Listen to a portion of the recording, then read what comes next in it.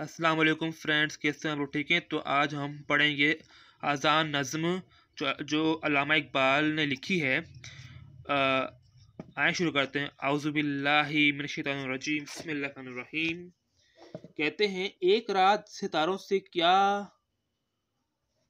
नजम सहर ने, आदम को भी देखा है किसी ने कभी बेदार। तो नजम कहते हैं, सुबह के सितारे को। आदम यानी इंसान बेदा कहते हैं यानी उठा हुआ जागा हुआ। कह रहे इसका मतलब ये है कि इसकी तशरी ये है कि एक रात सितारों से कहा न यानी कि जो सुबह के सितारे हैं उन्होंने कहा रात के सितारों से।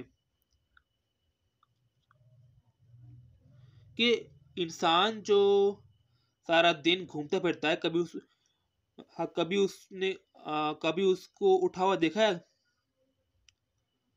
कि क्योंकि इंसान तो रात में सो जाता है। वो कभी सुबह उठाए तो ये इसमें बात कही जा रही है। ये तो अब जैसे कि हम कहते हैं ना यार हम तो ये करते हैं वो तो करता नहीं है। हम तो सुबह उठ के नमाज़ पढ़ते हैं वो तो हाँ वो तो पढ़ता नहीं है। तो ये कुछ ऐसे इसमें बात की जा रही थी। अब यहाँ पे है सेकंड शेयर कहने लगा मरीक और आ, कहने लगा मरीक अदा फहम है, तकदीर है, नींद उस इस छोटे से फितने को सजादार मरीख कहते हैं सैारा फहम कहते हैं समझ को। फितना कहते हैं यानी यहाँ पे इंसान की बात की गई है। सैारा कहता है, अदा फहम का मतलब है, तकदीर की अदाओं को तकदीर अगर उसको पता लग जाए अगर उसको पता लग जाए कि, कि हाँ कितने फ़ायदे हैं रात को जागने की अल्लाह की इबादत की तो फिर वो जो है वो अपने जो है हाँ ख़जाने निकाल ले। जहरा ने कहा और कोई बात नहीं इस इस कर्म शकूर। जहरा कहते हैं सयारा। अकर्मक कहते हैं कीड़े मकोड़े। ताल्लुक़। जहरा ने कहा और कोई बात नहीं इस कर्म से कौर से इन सब की आ, इन सब की एग्ज़ाम में जो है वो तशरियाँ नहीं आती। इनका आता है मरकज़ी ख्याल तो मैं उस मरकज़ी ख्याल को डिस्कस कर लेता हूँ। मरकज़ी ख्याल है एक तो मरकज़ी ख्याल दादू के इस नज़म में जो है वो शायर ने नमाज़ फजर में उठने की तरकीब की है।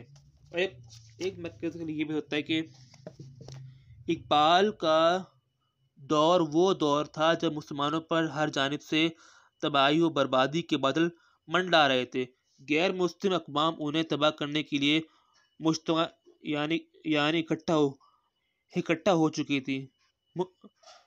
मुसलमान सियासी, माशी, इखलाकी और माशरती जवाल का शिकार थे और इनमें गम गुस्सा और मायूसी की, की कैफियत पाई जाती थी। ऐसे में इकबाल ने अपनी शायरी के ज़रिए मुसलमानों को इनकी खोई हुई अजमत याद अजमत याद दिलाने की कोशिश की और और इन्हें ये एहसास दिलाया कि वो चाहें तो आज भी इस मकाम पर पहुँच सकते हैं जहाँ कभी इनके इनकी असलाफ थे।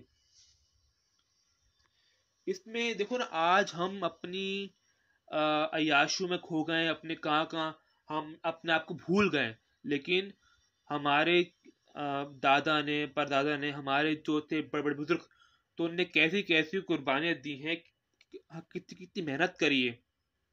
तो आज जो हमारे इर्द गिर्द इतने जो है वो आ, जो बुराइयाँ हो रही हैं वो यही थी कि हमने जो है वो हमें जो चीज़ सिखाई गई थी हम उसको भूल गए तो यहाँ इस मरकज़ी ख्याल में ये बात कही जा रही है कि अब हम हम चाहिए कि हम जो है वो आ, हम रात को उठकर जो है वो तहजद पढ़ें। अगर हम अल्लाह पाक की अल्लाह पाक की इबादत करें जो है हमें हमें कितना जो है लुत्फ़ आएगा। या कभी ऐसा हो कि हमारी आँख खुली हो और कोई शोर शराब उस टाइम पर होता है। तो हम उठ कर अपने आप को याद किया हो। तो इस नज़म में इकबाल यही कह रहे हैं। ठीक है?